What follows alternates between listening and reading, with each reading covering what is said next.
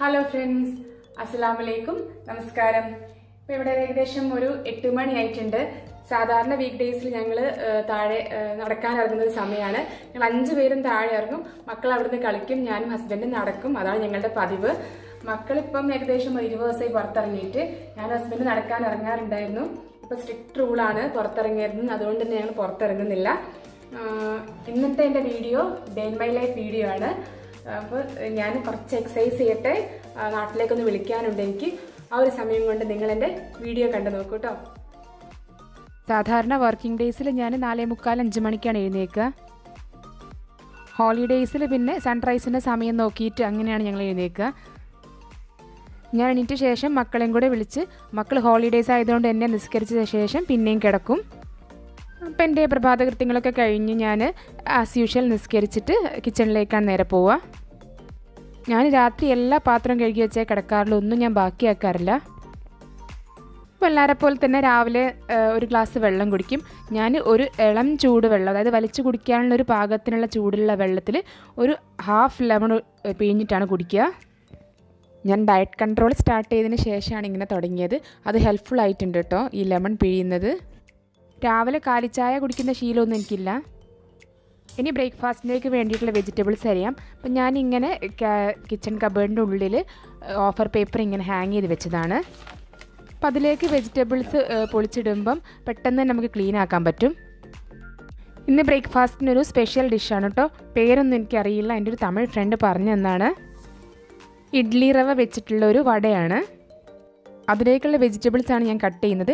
ഒരു സവാളേന്റെ ഒരു കാൽ ഭാഗം വേണം. പിന്നെ ഒരു ചെറിയ സ്ലൈസ് ഇഞ്ചി. പച്ചമുളക് മല്ലിയില കറിവേപ്പില ഇതൊക്കെയാണ് വേണ്ടത്. സവാള നമുക്ക് ചെറുതായി ഒന്ന് നുറുക്കിയെടുക്കണം.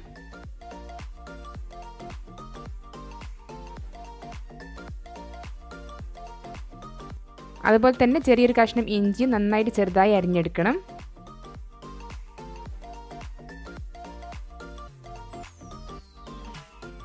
കുറച്ച് മല്ലിയില നമുക്ക് നുറുക്കി വെക്കാം.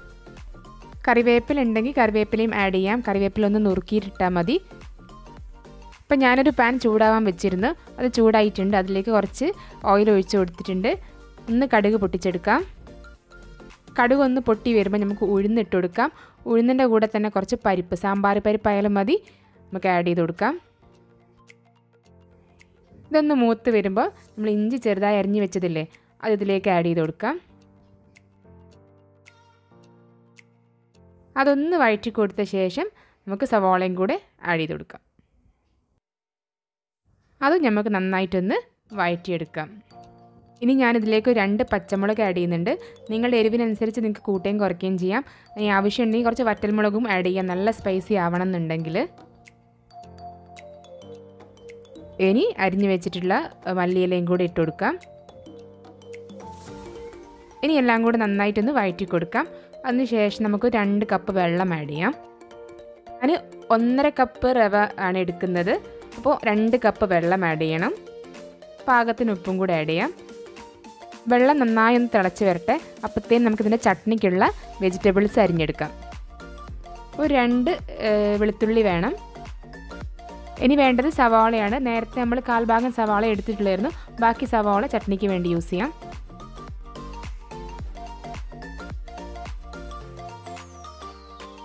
അത് നമുക്കൊന്ന് കട്ട് ചെയ്തെടുക്കാം. റഫായിട്ട് കട്ട് ചെയ്താൽ മതി കേട്ടോ അത്ര തിന്നാവണമെന്നൊന്നുമില്ല.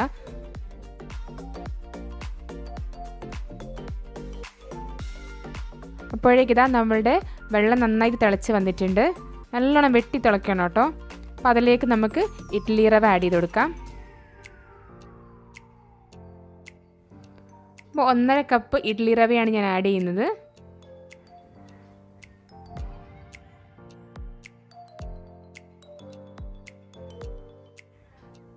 ഇപ്പോൾ ഇഡ്ഡലി റവ് ആഡ് ചെയ്തതിന് ശേഷം നമുക്ക് ഫ്ലെയിം ഒന്ന് മീഡിയം ആക്കി കൊടുക്കണം. അതിനുശേഷം നന്നായിട്ടൊന്ന് ഇളക്കിയെടുക്കാം. നമ്മൾ ഉപ്പുമാവൊക്കെ വേവിച്ചെടുക്കുന്ന പോലെ തന്നെ ആദ്യം കുറച്ച് ലൂസായി തോന്നും പിന്നെ അത് തിക്കായി വന്നോളും. ജസ്റ്റ് ഒന്ന് നന്നായി തിക്കായി വരുമ്പോൾ നമുക്ക് ഫ്ലെയിം ഒന്ന് ലോ ആക്കി കൊടുക്കണം.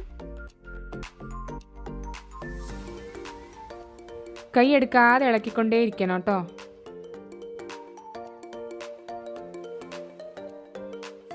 ഇപ്പോഴത്തെ വെള്ളമൊക്കെ നന്നായിട്ട് വറ്റിയിട്ട് നല്ല ഡ്രൈ ആയിട്ടുണ്ട്. ഇനി നമുക്കൊന്ന് അടച്ച് വെക്കാം. ഫ്ലെയിം ഓഫ് ചെയ്യാം.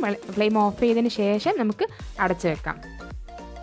ഒരു രണ്ട് മിനിറ്റ് അങ്ങനെ തന്നെ അടച്ച് വെക്കാം. ഫ്ലെയിം ഓഫ് ചെയ്തതിന് ശേഷം പിന്നെ നമുക്ക് മൂടിയൊന്ന് മാറ്റിയിട്ട് തണുക്കാൻ വെക്കാം.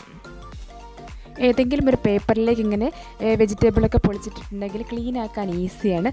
നമ്മളെ കൗണ്ടർ ടോപ്പ് ഒന്നും ഒട്ടും ഡേർട്ടി ആവില്ല. അപ്പോൾ ഇവിടെ അതാ നമ്മൾ ഇഡ്ഡലി റവ ചൂടാറിയിട്ടുണ്ട്. ഇനി നമുക്കിതൊന്ന് കുഴച്ചെടുക്കണം. നല്ല സോഫ്റ്റായിട്ട് കുഴച്ചെടുക്കണം.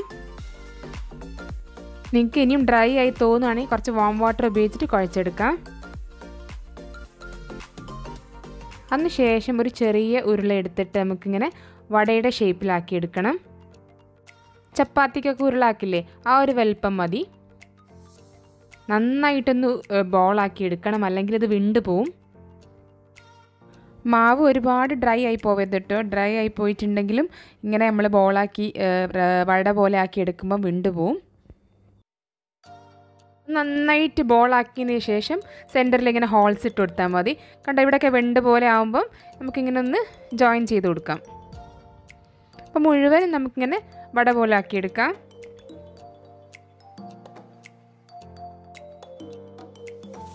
ഡ്രൈ ആവാൻ തോന്നുകയാണെങ്കിൽ കുറച്ച് വാം വാട്ടർ ഉപയോഗിച്ച് പിന്നെ നമുക്കൊന്ന് കുഴച്ചെടുക്കാം. നമുക്ക് ഈ പൂരിയും പത്തിരിയും ദോശയും ഇഡ്ഡലിയൊക്കെ നിന്ന് മടുക്കുമ്പോൾ നമുക്കൊരു വെറൈറ്റി ബ്രേക്ക്ഫാസ്റ്റ് ആക്കാം.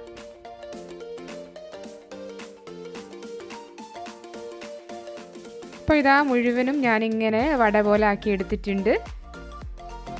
ഇത് നമ്മൾ സ്റ്റീം ചെയ്തെടുക്കുകയാണ് ചെയ്യുക.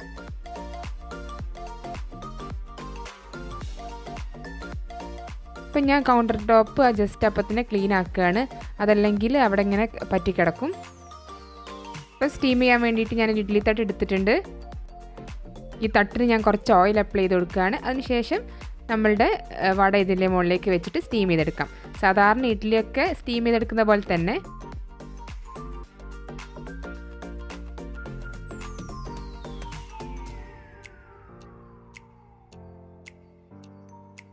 അപ്പോഴത്തേനും ഇതാ എനിക്ക് ചായക്ക് ഓർഡർ കിട്ടിയിട്ടുണ്ട്. ഹസ്ബൻഡ് രാവിലെ കാലിച്ചായ വേണം.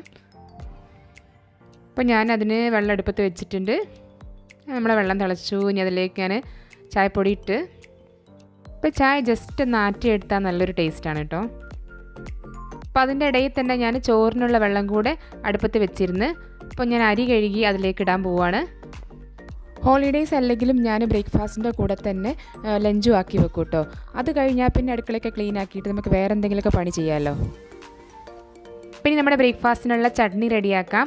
ഒരു ഹോട്ട് പാനിലേക്ക് ഞാൻ കുറച്ച് ഓയിൽ ഒഴിച്ച് അതിലേക്ക് കുറച്ച് ഉഴുന്നിട്ട് കൊടുത്തിട്ടുണ്ട്.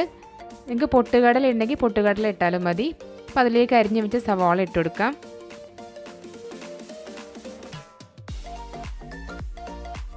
ജസ്റ്റ് വഴന്ന് വരുമ്പോൾ നമുക്ക് വെളുത്തുള്ളിയും ഇഞ്ചിയും ആഡ് ചെയ്ത് കൊടുക്കാം.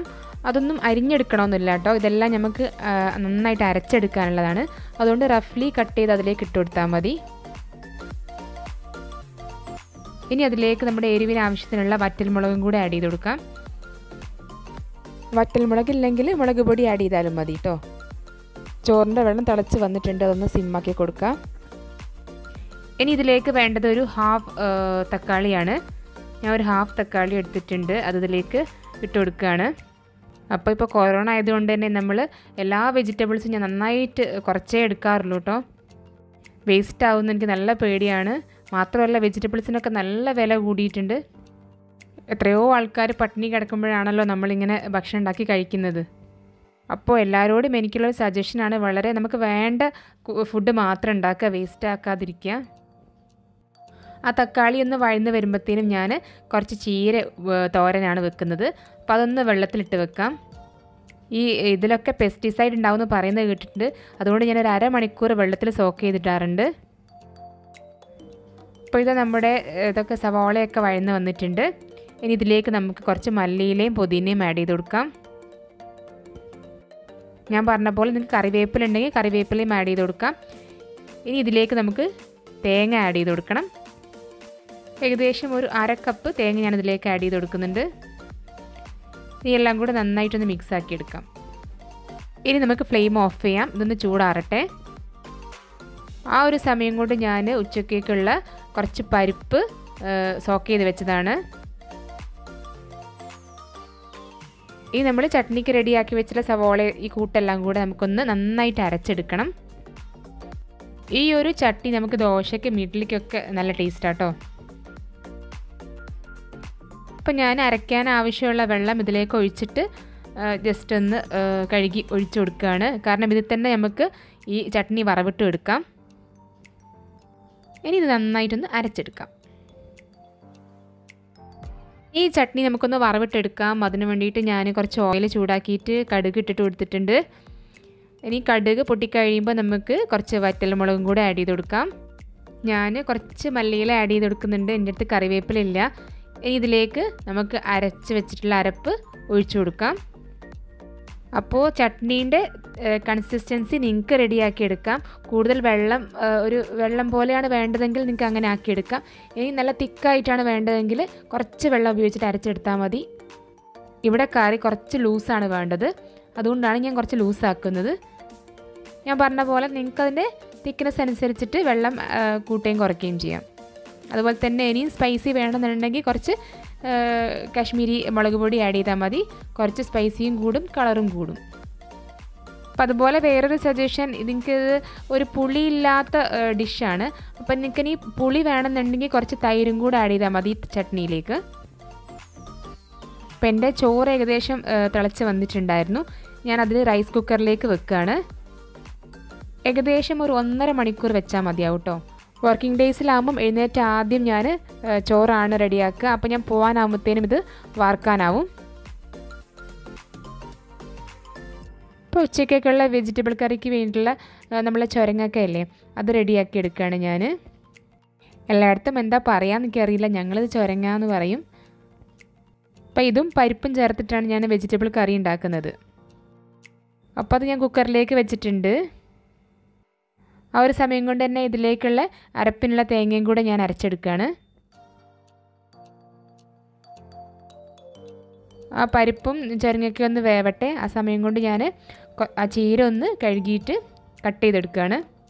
ഈ ചീര അരിഞ്ഞെടുക്കാൻ എനിക്ക് വലിയ മടിയാട്ടോ. പൊതുവേ ഞാൻ ഒരു മടിയില്ലാത്ത കൂട്ടത്തിലാണ്. പക്ഷേ ചില സംഭവങ്ങളൊക്കെ എനിക്ക് ഭയങ്കര മടിയാണ്. തേങ്ങാപ്പാൽ എടുക്കുക ഇങ്ങനെ ഇലകളൊക്കെ കട്ട് ചെയ്യുക എന്നൊക്കെ പറഞ്ഞാൽ എനിക്ക് ഭയങ്കര മടിയാണ്. എട്ടരയാകുമ്പം ഹസ്ബൻഡിന് പോകണം എട്ടേകാൽ ലൈറ്റുണ്ട് ഞങ്ങൾ ബ്രേക്ക്ഫാസ്റ്റ് കഴിക്കുകയാണ്. മെയിൻ ആൾ ഇപ്പം ബ്രേക്ക്ഫാസ്റ്റ് കഴിക്കുന്നില്ല. മോൻ എഴുന്നേറ്റിട്ടില്ല. അതുകൊണ്ട് തന്നെ ബ്രേക്ക്ഫാസ്റ്റ് കഴിക്കുമ്പോൾ ബഹളമൊന്നുമില്ല.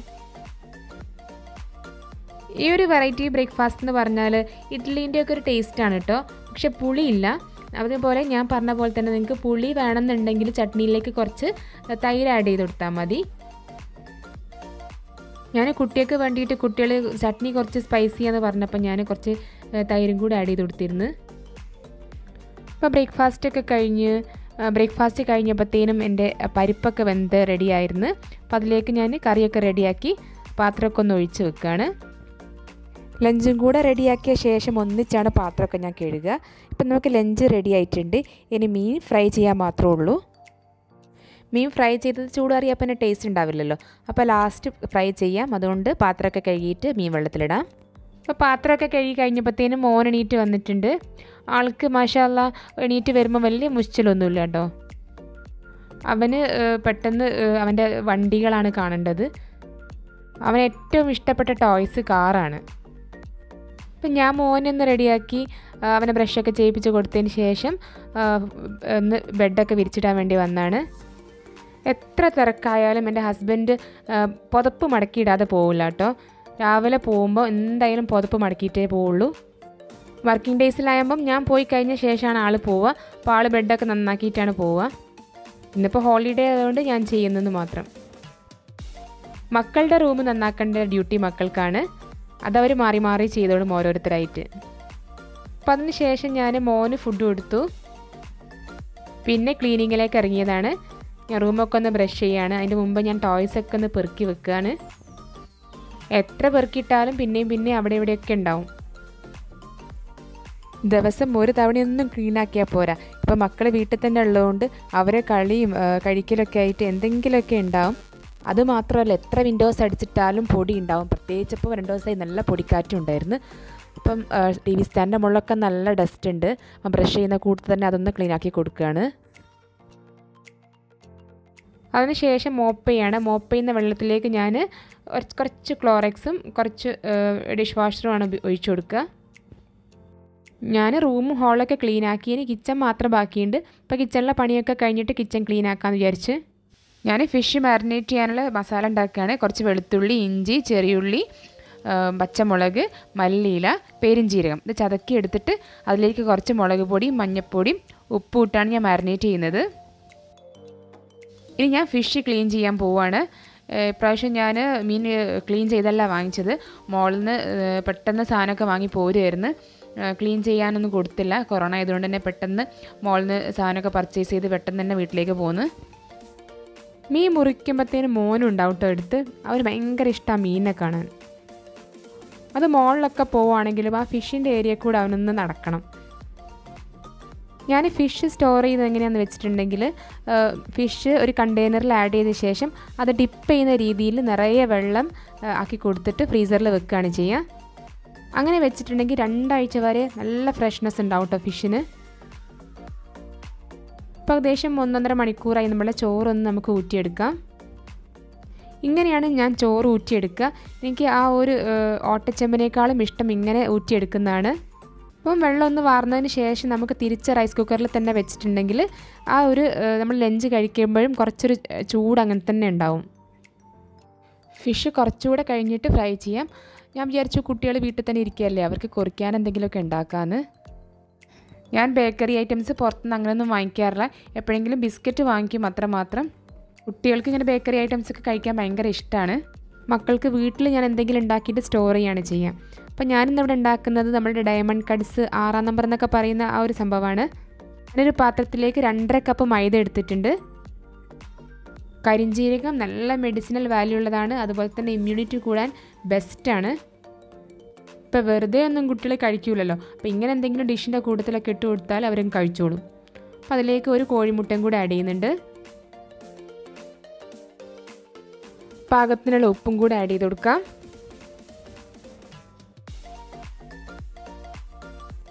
എന്നിട്ട് നമ്മൾ ചപ്പാത്തിക്ക് കുഴയ്ക്കുന്ന പോലെ കുറച്ച് വെള്ളം കൂട്ടി നന്നായിട്ട് കുഴച്ചെടുക്കാം.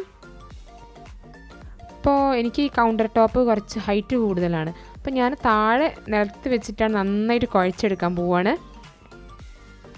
അപ്പോൾ ഇതാ ഞാൻ നന്നായിട്ട് കുഴച്ചെടുത്തിട്ടുണ്ട്. ഒന്ന് അടച്ച് വെക്കാം. ഒരു അഞ്ച് മിനിറ്റ്. ആ ഒരു സമയം കൊണ്ട് ഞാൻ ആറിയിട്ട തുണികളൊക്കെ എടുക്കുകയാണ്. മക്കളുടെ ഡ്രസ്സ് മക്കൾ തന്നെ മടക്കി വെച്ചോളും.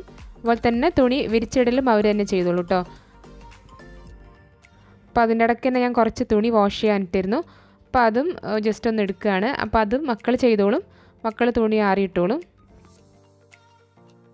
അപ്പം ഏകദേശം ഒരു അഞ്ച് മിനിറ്റ് കഴിഞ്ഞു. നമ്മളുടെ ഈ മാവ് ഒന്നുകൂടെ ഒന്ന് നമുക്ക് നീഡ് ചെയ്തെടുക്കാം.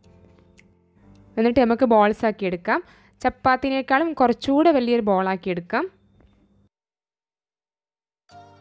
ഇപ്പോൾ കണ്ടോ ഇതുപോലെ നമുക്ക് ബോൾസ് ആക്കി എടുക്കാം. എനിക്ക് ഏകദേശം ഒരു ഏഴ് ബോളാക്കി എടുത്തിട്ടുണ്ട്. ഒന്ന് രണ്ടര കപ്പ് മാവ്. ഇപ്പം നമ്മൾ ചപ്പാത്തി പരത്തുന്ന പോലെ തന്നെ പരത്തി എടുത്തിട്ടുണ്ട്. ഇനി നമുക്കിത് കട്ട് ചെയ്തെടുക്കാം. നിങ്ങൾ പരത്തുമ്പം ശ്രദ്ധിക്കാനുള്ളൊരു കാര്യം ഒരുപാട് പൊടിയിട്ട് പരത്തരുത്. അതുപോലെ തന്നെ പൊടി കുറഞ്ഞും പോവരുത്. ചപ്പാത്തി പരത്തുന്നതിനേക്കാളും കുറച്ചുകൂടെ തിക്നെസ് കുറച്ച് പരത്തുകയും വേണം. അപ്പോൾ ഏകദേശം ഒരു ഹാഫ് നമുക്കിങ്ങനെ കട്ട് ചെയ്ത് കൊടുക്കാം. ഇനി തിരിച്ചും കട്ട് ചെയ്യാം. ഏകദേശം ഒരു ഡയമണ്ട് ഷേപ്പിൽ നമുക്കൊരു പ്ലേറ്റിലേക്ക് ഇങ്ങനെ മാറ്റിയിടാം. അപ്പോൾ ഞാനിപ്പോൾ ഹാഫ് ഒരു ചപ്പാത്തിന്റെ ഹാഫ് പോർഷനാണ് ഞാൻ കട്ട് ചെയ്തത്. അത് മുഴുവൻ ഞാനിങ്ങനെ ഒരു പ്ലേറ്റിലേക്ക് മാറ്റുകയാണ് ഞാൻ പരത്താൻ തുടങ്ങിയപ്പോൾ തന്നെ പാന് വെച്ച് ചൂടാക്കാൻ വെച്ചിരുന്ന് ഓയിലും കൂടി ഒഴിച്ചു കൊടുത്തിട്ടുണ്ട്. അപ്പോൾ ഇനി നമുക്ക് എന്ത് ചെയ്യാം? ഈ ഒരു പ്ലേറ്റ് ജസ്റ്റ് ഇങ്ങനെ ഒന്ന് കമിഴ്ത്തി കൊടുത്താൽ മതി ഹോട്ടായ ഓയിലിലേക്ക് കണ്ടോ? ഓരോന്ന് പെറുക്കിയിടൊന്നും വേണ്ട. അതാണ് ഞാൻ പറഞ്ഞത്. ചപ്പാത്തി നമ്മൾ പരത്തിയെടുക്കുമ്പം ഒരുപാടങ്ങ് പൊടിയിടാതെ പരത്തിയിട്ടുണ്ടെങ്കിൽ അത് ഒട്ടിപ്പോവും. പൊടി കൂടുതലായിട്ടുണ്ടെങ്കിൽ നമ്മളുടെ ആ ഒരു ഓയിലിന്റെ അടിയിൽ ഇങ്ങനെ കിടക്കുകയും ചെയ്യും. അപ്പോൾ നമ്മൾ ഫ്രൈ ചെയ്യാനിട്ട് ഒന്ന് റെഡിയായി വരുമ്പോഴത്തേനും ബാക്കി ഹാഫും കൂടെ നമുക്കൊരു പ്ലേറ്റിലേക്ക് മാറ്റാം കട്ട് ചെയ്തിട്ട്. അപ്പോൾ ഇതാ അത് റെഡി ആകുന്നുണ്ട് ഒരു ഗോൾഡൻ ബ്രൗൺ നിറമാകുമ്പോൾ നമുക്ക് മാറ്റാം. നമ്മളിങ്ങനെ ഒരുപാട് സ്റ്റോർ ചെയ്ത് വെക്കുന്ന ഐറ്റത്തിനൊക്കെ നമുക്ക് ഓയിലാട്ടോ നല്ലത്. വെളിച്ചെണ്ണേക്കാളും അപ്പോൾ ഞാൻ ഇതിലേക്ക് മാറ്റിയിട്ടുണ്ട്. ബാക്കി ഹാഫ് ഞാൻ റെഡിയാക്കി വെച്ചിരുന്നു. അതും ജസ്റ്റ് നമുക്ക് ഇതിലേക്ക് ഇങ്ങനെ കമിഴ്ത്തി കൊടുക്കാം. കണ്ടോ? അപ്പം നമ്മുടെ ഡയമണ്ട് കട്ട്സ് ഇവിടെ റെഡി ആയിട്ടുണ്ട്. എല്ലാം ഞാനിങ്ങനെ ഫ്രൈ ചെയ്തെടുത്തിട്ടുണ്ട്. കുട്ടിക്ക് കുറച്ചൊന്ന് സ്വീറ്റ് ആക്കാൻ വേണ്ടിയിട്ട് ഞാൻ കുറച്ച് മാറ്റിയിട്ട് കുറച്ച് പഞ്ചസാര പൊടിച്ചതിലേക്ക് ആഡ് ചെയ്ത് കൊടുക്കുകയാണ്. നല്ല ചൂടോട് കൂടി ഇങ്ങനെ ചെയ്യണം കേട്ടോ. അപ്പോൾ പഞ്ചസാര ഇതിലേക്ക് പറ്റിപ്പിടിക്കും. നിങ്ങൾക്ക് സ്പൈസി ആക്കണമെന്നുണ്ടെങ്കിൽ കുറച്ച് ചൂടോട് കൂടി തന്നെ കുറച്ച് മുളക് പൊടി ആഡ് ചെയ്ത് കൊടുത്താൽ മതി. അപ്പോൾ ഞാനിത് കുട്ടിയൊക്കെ കൊടുത്തിട്ട് വരാം. കുട്ടികൾക്ക് എപ്പോഴും ഇങ്ങനത്തെ കഴിക്കാൻ ഭയങ്കര ഇഷ്ടമാട്ടോ ഇനി ബാക്കിയുള്ളതെല്ലാം ഞാനൊരു എയർ ടൈറ്റ് ആയിട്ടുള്ള കണ്ടെയ്നറിൽ ഇട്ട് വെക്കുകയാണ് അപ്പോൾ ആ പണിയും കഴിഞ്ഞു. ഇനി നമുക്ക് ഉച്ചക്കേക്ക് വേണ്ടിയിട്ട് ഞാൻ കുറച്ച് ഉള്ളിമോര് ഉണ്ടാക്കുന്നുണ്ട്. നിങ്ങൾക്ക് എല്ലാവർക്കും അറിയുമോ എന്ന് എനിക്കറിയില്ല. അറിയാത്തവർക്ക് വേണ്ടി ഞാൻ ഷെയർ ചെയ്യാം. ഒരു രണ്ട് മൂന്ന് ടേബിൾ സ്പൂൺ ഞാൻ തൈര് ആഡ് ചെയ്യുന്നുണ്ട്. ഇനി അതിലേക്ക് നമുക്ക് വേണ്ടത് കുറച്ച് തേങ്ങയാണ്. ഒരു ഒരു കൈപ്പിടി തേങ്ങ നമുക്ക് ആഡ് ചെയ്ത് കൊടുക്കാം. പിന്നെ രണ്ട് ചെറിയുള്ളി ആഡ് ചെയ്ത് കൊടുക്കാം. ഇനി നമുക്കിതിലേക്ക് കുറച്ച് ചോറ് ആഡ് ചെയ്ത് കൊടുക്കണം. എന്നിട്ട് കുറച്ച് ഉപ്പും കുറച്ച് വെള്ളം കൂടി ആഡ് ചെയ്തിട്ട് നന്നായിട്ടൊന്ന് അരച്ചെടുക്കാം. അപ്പോൾ നമ്മൾ ഉള്ളിമോര് റെഡിയായി ഇത് ചോറിന്റെ കൂടെ കൂട്ടാൻ നല്ല ടേസ്റ്റാണ് ഇപ്പോൾ ഇവിടെ ആറാം നമ്പർ ഉണ്ടാക്കിയിട്ട് ആകെ അൽക്കുലത്തേക്ക് കിടക്കുകയാണ് കൗണ്ടർ ടോപ്പ് ഞാനതൊക്കെ ഒന്ന് ക്ലീൻ ആക്കുകയാണ് അതിന്റെ കൂടെ തന്നെ ഞാൻ മത്തി ഫ്രൈ ചെയ്യാനും വെച്ചിട്ടുണ്ട്. ഞാൻ വെളിച്ചെണ്ണയിലാണ് കേട്ടോ മീൻ ഫ്രൈ ചെയ്യൽ നമ്മളെ നാടൻ വിഭവങ്ങളൊക്കെ ഉണ്ടാക്കുമ്പോൾ ഞാൻ വെളിച്ചെണ്ണയാണ് യൂസ് ചെയ്യൽ ഇനിയിപ്പോൾ ഇതാ സിങ്കിൽ നിറയെ പാത്രങ്ങളാണ്. ഇതൊക്കെ ഒന്ന് കഴുകി വൃത്തിയാക്കണം. എന്റെ അടുക്കള ക്ലീനിങ് അവിടെ ബാക്കിയുണ്ടായിരുന്നു. അപ്പം ഫുഡുകളൊക്കെ റെഡിയായി. ലഞ്ചൊക്കെ റെഡിയായി. ഇനിയിപ്പോൾ ഞാനൊന്ന് ക്ലീൻ ചെയ്തിട്ട് മോപ്പ് ചെയ്യാണ്. ഞാൻ ചില ദിവസങ്ങളിലൊക്കെ കിച്ചൺ ഞാൻ വെള്ളം ഇട്ട് കഴുകാറുണ്ട്. ഡെറ്റോളും ഫയറി എന്തെങ്കിലുമൊക്കെ ഇട്ട് കഴുകാറുണ്ട്. ഇന്നിപ്പോൾ എനിക്ക് ഒരുപാട് പണി ഉണ്ടായതുകൊണ്ട് തന്നെ ഞാൻ സമയമില്ല. ഏകദേശം പന്ത്രണ്ടരയൊക്കെ ആയി. അപ്പോൾ ഞാൻ വേഗം കിച്ചണ് പണി കഴിച്ചിട്ട് വേഗം കുളി നിസ്കാരത്തിലേക്കൊക്കെ പോവാണ്. ഒരു മണി കഴിഞ്ഞ് അപ്പോഴത്തേന് ഹസ്ബൻഡ് ചോറിനാൻ എത്തിയിട്ടുണ്ട്. മക്കളുടെ കുളിയൊന്നും കഴിഞ്ഞിട്ടില്ല. അപ്പോൾ ഞങ്ങൾ നിസ്കരിക്കുന്ന സമയം കൊണ്ട് അവരെ കുളിക്കാൻ പറഞ്ഞയച്ച്. ഇവിടെ ഭക്ഷണം കഴിക്കുന്നതിന് മുമ്പ് മോന്റെ ആക്ടിവിറ്റി ഇതാണ് കേട്ടോ ഇപ്പം.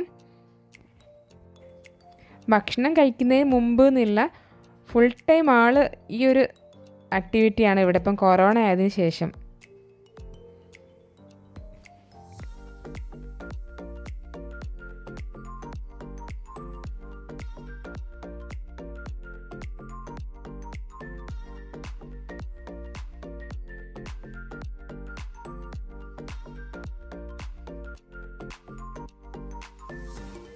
അപ്പോൾ നിങ്ങൾ കണ്ടതാണല്ലോ ഞങ്ങളുടെ ലഞ്ച് സിമ്പിളാണ് ഇന്നത്തത്.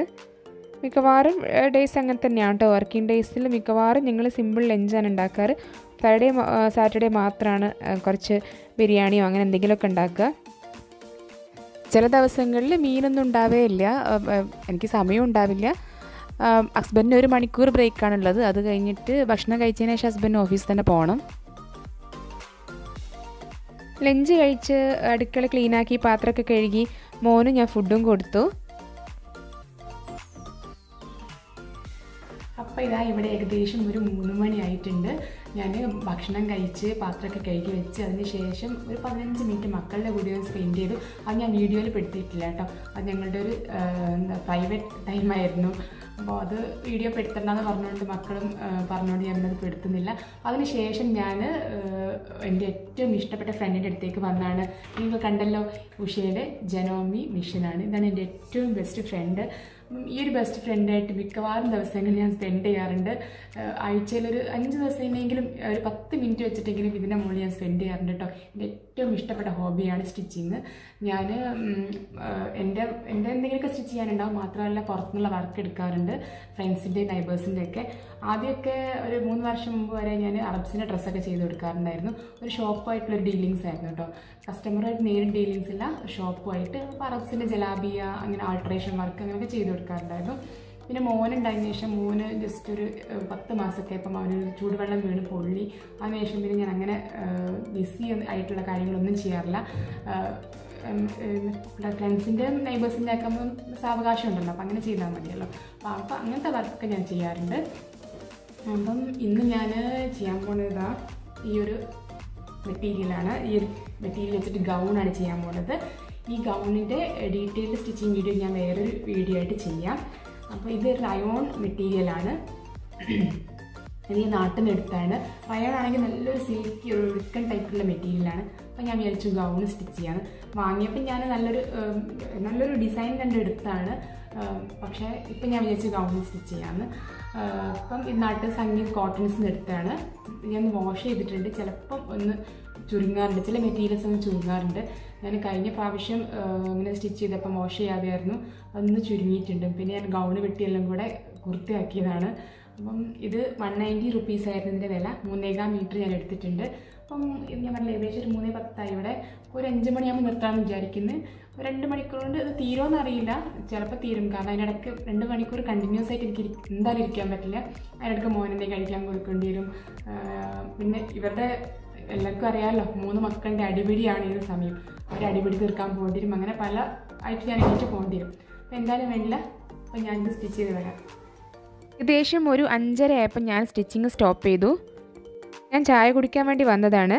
അപ്പോൾ ഒരു രണ്ട് കപ്പ് പാലും ഒന്നര കപ്പ് വെള്ളവും ഞാൻ അടുപ്പത്ത് വെച്ചിട്ടുണ്ട്. അപ്പോൾ ഒന്ന് തിളച്ച് വരാനായി. അപ്പോൾ ഞാൻ ചായപ്പൊടി ഇട്ട് കൊടുത്തു. അപ്പോൾ അതിലേക്ക് ഞാൻ കുറച്ച് ചുക്കുപൊടി ഇട്ട് കൊടുക്കുകയാണ്. നല്ലൊരു ടേസ്റ്റാണ് മസാല ടീന്റെ ഒരു ടേസ്റ്റാണ് ഇപ്പോൾ കുറച്ച് ഏലക്കാന്റെ പൊടി ഇട്ട് കൊടുക്കുന്നുണ്ട്. രാവിലെ ഞാൻ ചായ കുടിക്കാറില്ല. പക്ഷേ വൈകുന്നേരം എനിക്ക് ചായ നിർബന്ധമാണ്.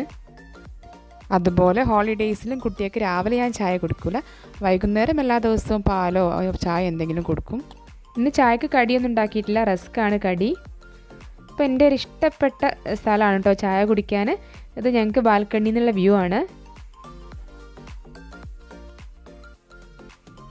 ഏകദേശം ഒരു ഏഴ് മണി ആയിട്ടുണ്ട്. ഞാൻ മകരി നിസ്കാരമൊക്കെ കഴിഞ്ഞ് ജസ്റ്റ് ഒന്ന് ഓതൊക്കെ ചെയ്തിട്ട് കിച്ചണിലേക്ക് വന്നാണ്. ഡിന്നർ ഞങ്ങൾ ഹെവി ആയിട്ടൊന്നും കഴിക്കാറില്ല കേട്ടോ. എന്തെങ്കിലും സോപ്പോ സാലഡോ ചപ്പാത്തി റോളോ അങ്ങനെ എന്തെങ്കിലുമൊക്കെ കഴിക്കാറുള്ളൂ. കുട്ടികളും അങ്ങനെ തന്നെ കഴിക്കാറുള്ളൂ. ഒരു ഏഴ് മണിയാകുമ്പം ഏഴരയൊക്കെ ആകുമ്പോൾ ഞങ്ങൾ ഭക്ഷണം കഴിക്കും. ഒരു എട്ടേകാലൊക്കെ ആകുമ്പോൾ ഞങ്ങൾ നടക്കാൻ ഇറങ്ങും. അതാണ് ഞങ്ങളുടെ സ്കെഡ്യൂൾ അപ്പോൾ ഇന്ന് ഞാൻ ഉണ്ടാക്കുന്നത് ചപ്പാത്തി ടൈപ്പ് സാൻഡ്വിച്ചാണ് അപ്പോൾ നമുക്ക് ഡിന്നർ ഉണ്ടാക്കിയാലോ? അപ്പോൾ നമുക്ക് എത്ര ചപ്പാത്തിയാണോ വേണ്ടത് അത്രയും ചപ്പാത്തിപ്പൊടി എടുക്കാം. അതിലേക്ക് പാകത്തിന് ഉപ്പും കൂടി ആഡ് ചെയ്യുന്നുണ്ട്. കുറച്ച് ഓയിൽ ഒഴിച്ചു കൊടുക്കാം. നന്നായിട്ടൊന്ന് മിക്സാക്കി എടുക്കാം. ഇളം ചൂടുവെള്ളം ഉപയോഗിച്ചിട്ട് സാധാരണ ചപ്പാത്തി കുഴച്ചെടുക്കുന്ന പോലെ തന്നെ കുഴച്ചെടുക്കാം. ഞങ്ങളുടെ ഡിന്നർ എന്ന് പറയുന്നത് ഏകദേശം ഒരു ഏഴ് എട്ട് മണിക്കൊക്കെ കഴിയും കേട്ടോ. ലേറ്റ് നൈറ്റ് ഫുഡ് കഴിക്കാറേ ഇല്ല. അപ്പോൾ നമ്മുടെ അട്ടപ്പൊടി നന്നായിട്ട് കുഴച്ചെടുത്തിട്ടുണ്ട്. ഇനി ഇത് ബോൾസ് ആക്കി എടുക്കാം. സാധാരണ നമുക്ക് ചപ്പാത്തി ചപ്പാത്തിക്ക് ആക്കുന്നതിനേക്കാൾ കുറച്ചുകൂടി ഒരു വലുപ്പത്തിൽ നമുക്ക് ഇങ്ങനെ ബോൾസ് ആക്കി എടുക്കാം. ഇനി ഇതിന്റെ ഫില്ലിങ്ങിന് വേണ്ടിയിട്ടുള്ള കാര്യങ്ങൾ എന്തൊക്കെയാണെന്ന് നോക്കാം. ഇങ്ങനെ വേണ്ടിയിട്ട് ഞാൻ ഒരു പകുതി സവാള നുറുക്കിയെടുത്തിട്ടുണ്ട്. ഒരു പകുതി ടൊമാറ്റോ രണ്ട് പച്ചമുളക് കുറച്ച് മല്ലിയില. ഇത് മേത്തി ലീഫാണ് പിന്നെ ഇതൊരു മൂന്ന് എഗ്ഗ് നന്നായിട്ട് ബീറ്റ് ചെയ്തെടുത്താണ് ആവശ്യത്തിന് ഉപ്പും ചേർത്തിട്ട്. സാധാരണ ചപ്പാത്തി പരത്തിയെടുക്കുന്ന പോലെ പരത്തിയെടുത്തിട്ടുണ്ട് ഞാൻ പരത്താൻ തുടങ്ങുന്നതിന് മുമ്പ് തന്നെ പാൻ ചൂടാവാൻ വെച്ചിരുന്ന് അപ്പോൾ അതിലേക്ക് കുറച്ച് ഗീ ആഡ് ചെയ്ത് കൊടുത്തിട്ടുണ്ട്. ഇനി ചപ്പാത്തി നമുക്ക് ചുട്ടെടുക്കാം. അപ്പം മുകളിലും ഗീ ഒഴിച്ചു കൊടുത്തതിന് ശേഷം ഞാൻ തിരിച്ചിടുന്നുണ്ട്. തിരിച്ചിട്ട ശേഷം ആ ഒരു ഭാഗം നന്നായിട്ട് വേവിച്ചെടുക്കാം. ഇപ്പോൾ ഒരു ഭാഗം വെന്ത് കഴിയുമ്പം നമുക്ക് ആ ഒരു ഭാഗത്ത് നമുക്ക് എഗ്ഗ് ആ ഒരു കൂട്ട് ഒഴിച്ചു കൊടുക്കാം. ഇനി ഇതിലേക്ക് നമ്മളുടെ വെജിറ്റബിൾസ് ഒക്കെ സ്പ്രിങ്കിൾ ചെയ്ത് കൊടുക്കണം. മേത്തി ലീഫ് എന്ന് പറയുന്നത് നാട്ടിലുള്ളവർക്ക് അറിയാത്തവരുണ്ടെങ്കിൽ ഉലുവേന്റെ ഇലയാണ് നമുക്കത് വീട്ടിൽ മുളപ്പിച്ചെടുക്കുകയും ചെയ്യാം കേട്ടോ. ഇനി അതിലേക്ക് കുറച്ച് ഗരം മസാല ഞാനൊന്ന് ഇട്ട് കൊടുക്കുകയാണ്. ജസ്റ്റ് ഒരു പിഞ്ച്. കുറച്ച് കുരുമുളക് പൊടിയും ആഡ് ചെയ്തിട്ടുണ്ട്. കുറച്ചുകൂടി എഗ്ഗ് അതിന്റെ മുകളിലേക്ക് ആഡ് ചെയ്യണം. അല്ലാതെ ഒരുമിച്ച് ആദ്യം ഒഴിച്ചിട്ടുണ്ടെങ്കിൽ എഗ്ഗ് പുറത്തേക്ക് പോകും ചപ്പാത്തീന്റെ. അപ്പോൾ വെജിറ്റബിൾസ് ആഡ് ചെയ്തതിന് ശേഷം ഒഴിക്കുകയാണെങ്കിൽ കുറച്ച് ആ ഒരു വെജിറ്റബിൾസിന്റെ മുകളിൽ ഇങ്ങനെ എഗ്ഗ് നിന്നോളും. അപ്പം ഇനി നമുക്കിതിങ്ങനെ മടക്കി കൊടുക്കാം. മടക്കി കൊടുത്തിട്ട് നമുക്കൊന്ന് തിരിച്ചിട്ട് കൊടുക്കാം. ഇനി നമുക്കൊരു സ്പൂണിൽ കുറച്ച് എഗ്ഗ് എടുത്തിട്ട് ആ ഒരു മടങ്ങിയ സ്ഥലത്തേക്ക് ഇങ്ങനെ അപ്ലൈ ചെയ്തിട്ട് തിരിച്ചിട്ട് കൊടുത്താൽ അതവിടെ ഒട്ടി നിന്നോളും. ഈ ഒരു ഡിഷ് നമുക്ക് കുട്ടികളുടെ ടിഫിനിലും കൊടുത്തയക്കാൻ പറ്റും. വെജിറ്റബിൾസ് ഒക്കെ കഴിക്കാത്ത കുട്ടികൾക്ക് ഇങ്ങനെ സ്റ്റഫ് ചെയ്ത് കൊടുത്തിട്ടുണ്ടെങ്കിൽ വെജിറ്റബിൾസ് ഒന്നും ആ ഒരു ടേസ്റ്റ് ഒന്നും അധികം അറിയില്ല. മാത്രമല്ല ഈ മേത്തി ലീഫൊക്കെ നല്ല മെഡിസിനൽ വാല്യൂ ഉള്ളൊരു ഫുഡാണ് ജസ്റ്റ് നമുക്കൊരു മിനിറ്റ് ഒന്ന് മൂടി വെച്ചിട്ട് ഒന്ന് വേവിച്ചെടുക്കാം. വേണമെങ്കിൽ കുറച്ച് ഗീ കൂടെ അപ്ലൈ ചെയ്യാം. അപ്പോൾ ഡിന്നർ റെഡി ആയിട്ടുണ്ട്. ഞാൻ കുറച്ച് കുക്കുംബറും അതുപോലെ തന്നെ കുറച്ച് കോണ് ബോയിൽ ചെയ്തും ആഡ് ചെയ്തിട്ടുണ്ട്. അപ്പോൾ ഞങ്ങളുടെ ഡിന്നർ ഇതാണ്. എന്റെ മിക്കവാറും ദിവസങ്ങൾ ഇങ്ങനെ ബിസിയാണ്. ഒബ്വിയസ്ലി നല്ല മടി പിടിച്ചിരിക്കുന്ന ദിവസങ്ങൾ ഉണ്ടാവാറുണ്ട്. ഇടയ്ക്ക് ബ്രേക്ക് എന്ന പോലെ ഞാൻ ഫോൺ വാട്സാപ്പ് ഫേസ്ബുക്ക് യൂട്യൂബൊക്കെ നോക്കും. അതുപോലെ തന്നെ ഇപ്പോൾ പ്രത്യേകിച്ച് കൊറോണ ആയതുകൊണ്ട് തന്നെ ന്യൂസ് ഇടയ്ക്ക് കേൾക്കും. അങ്ങനെ ഏകദേശം ഒരു പത്ത് മണിയപ്പം മക്കളും കിടന്നു. ഞാൻ തിരിച്ചെത്തിയിട്ടുണ്ട്. ഏകദേശം പത്ത് മണിയായി. നിശാസ്കരിക്കണം കിടക്കണം. പത്തരയാകുമ്പോഴാണ് സാധാരണ ഞങ്ങൾ കിടക്കാറ്. അപ്പോൾ എന്റെ ഒരു ഈ day in my life video നിങ്ങൾക്ക് എല്ലാവർക്കും ഇഷ്ടപ്പെട്ടു എന്ന് നിങ്ങളെല്ലാവരും എന്റർടൈൻ ചെയ്തു എന്ന് ഞാൻ വിചാരിക്കുന്നു. നമ്മുടെ ഈ ഒരു കോവിഡ് ഈ ഒരു കാലം നമ്മൾ അതിജീവിച്ച് ഈ സ്റ്റേജ് കടന്നു പോകാൻ നിങ്ങളെല്ലാവരും പ്രാർത്ഥിക്കുക. ഇത് നമ്മൾ നമ്മൾക്ക് രോഗം വരാതെ സൂക്ഷിക്കുന്നതോടൊപ്പം തന്നെ നമ്മൾ മുഖാന്തരം മറ്റൊരാൾക്ക് ഈ രോഗം പകരാതിരിക്കാനും കൂടെ ശ്രദ്ധിക്കുക. നമ്മളുടെ ഓരോരുത്തരുടെയും സോഷ്യൽ റെസ്പോൺസിബിലിറ്റി ആണെന്ന് വിചാരിച്ച് തന്നെ പെരുമാറുക. അപ്പോൾ ഞാൻ ഇന്നത്തെ ഈ വീഡിയോ വൈൻഡപ്പ് ചെയ്യാണ്. Thank you for watching